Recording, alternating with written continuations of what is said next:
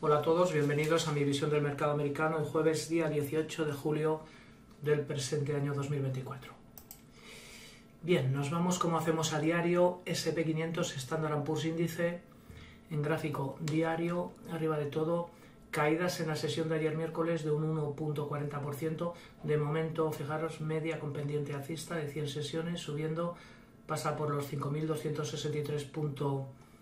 5.263.1 y cierre el contado en los 5.588.27. Vamos a cambiar y vamos a mirar el Nasdaq 100 contado, caídas en la sesión de ayer miércoles de un 2.90%, cierre en los 19.799.1 y de momento media con pendiente alcista que pasa actualmente por los 18.593.9. Vamos a cambiar a SPY, ETF referenciado al SP500. No tenemos entrada en nuestro sistema de sobreventa. De momento el 6.80% de las 503 acciones que componen el SP500 estarían en una situación de sobreventa. ¿Qué sobreventa? Como siempre lo tenéis aquí en la leyenda a la izquierda.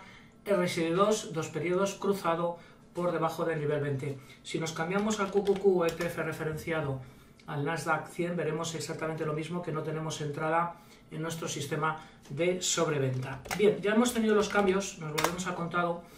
Digo que ya hemos tenido los cambios en la encuesta ahí, sentimiento alcista, pasamos, aumentamos de un 49.20% al 52.70%, lo podéis ver aquí, histograma de color verde, y en histograma de color rojo aumenta, como vemos, el sentimiento, la misma encuesta, sentimiento bajista del 21.70% al 23.40% y nuestro indicador inferior Fear and Grid de la CNN, que como sabemos también es un indicador de sentimiento, se encuentra a nivel de codicia nivel 57. Vamos a mirar el VIX, la volatilidad, veremos que hemos tenido un aumento. Fijaros, ya no salimos del nivel, fijaros, de confort cae el mercado, además con un gap bajista, aumenta el miedo, aumenta la volatilidad.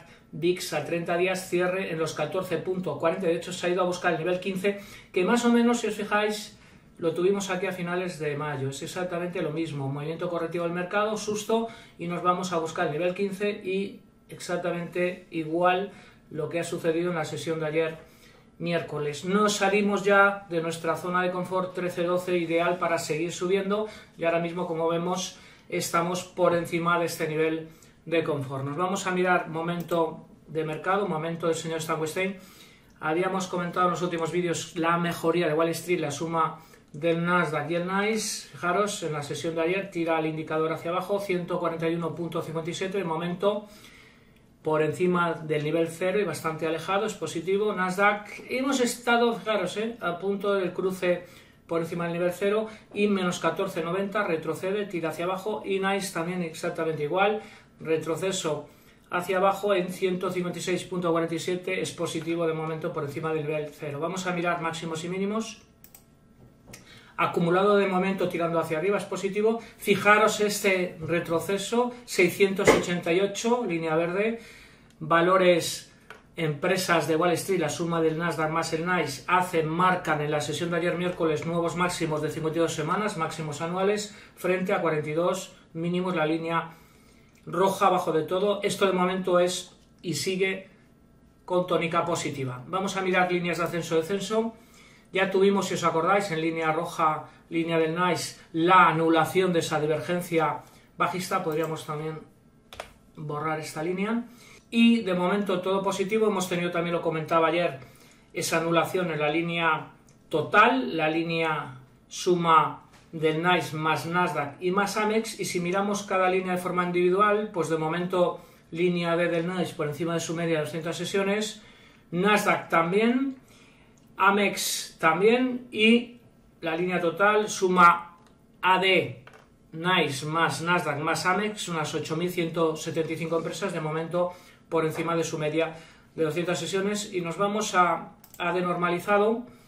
AD normalizado del NICE en 93.96 es positivo por encima del nivel 80. Se acerca AD normalizado color azul del Nasdaq al nivel 80, 78.71 y bajo mi punto de vista seguimos dentro de este tercer impulso alcista.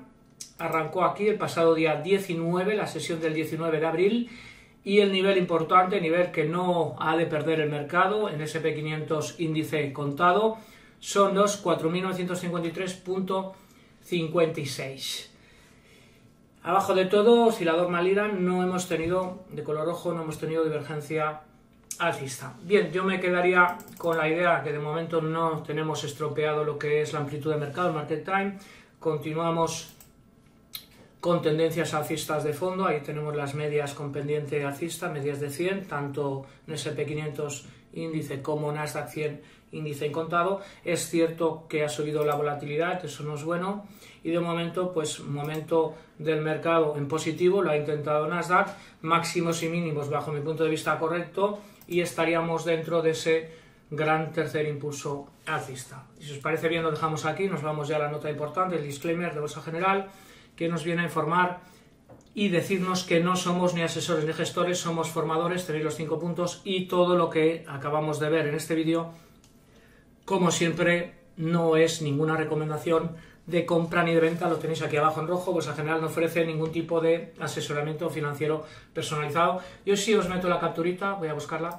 Yo creo que la capturita va bien recordarla de vez en cuando y más si no cuando el mercado sube, ¿no? Sino cuando el mercado baja no tenemos esos métodos, ese plan de trabajo, esa combinación de sistemas y ya no sabemos qué hacer, ¿no? Ostras, mercado está cayendo, mis valores, Nvidia, etcétera, etcétera, caen, ¿qué hago, no?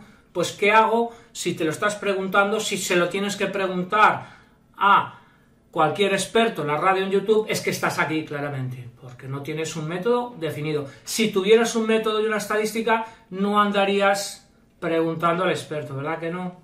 ¿Mm? Recapacita, piensa, piénsatelo y déjame comentarios. Yo propongo esto de aquí, a la derecha, una inversión estadística, tenemos una estadística, tenemos un plan de trabajo definido, combinamos sistemas de inversión rentables para ser rentable tenemos que seguir sistemas rentables, es tan sencillo como esto. Ganamos, me genera confianza, perdemos, me genera disciplina, estoy en el lado correcto. ¿Dónde puedo aprender esto de aquí? Pues lo puedes aprender formándote con nosotros en Bolsa General. Tienes el centro de traders, oferta para nuevos clientes, tres meses. Si contratas tres meses, un trimestre, rebajado de 267, te quedaría 213 euros.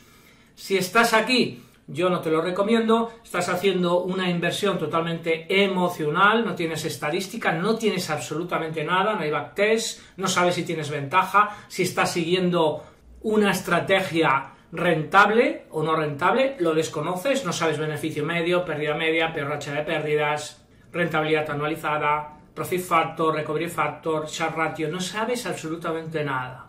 Si ganas te puede generar adicción, adrenalina, comportamientos de jugador, ludopatía, si pierdes, te frustras, buscas venganza, etcétera, etcétera. Bajo mi punto de vista, estás en el lado incorrecto. Y ya finalizo con la frase, si no hay cuentas, hay cuentos. Y lo dejo ahí. Venga, y lo dejamos aquí. Comparte el vídeo, déjame muchos likes y también comentarios. Y nos oímos mañana viernes y haremos el repaso, como siempre, de la sesión de hoy jueves. Venga, chao, adiós, que paséis un buen jueves.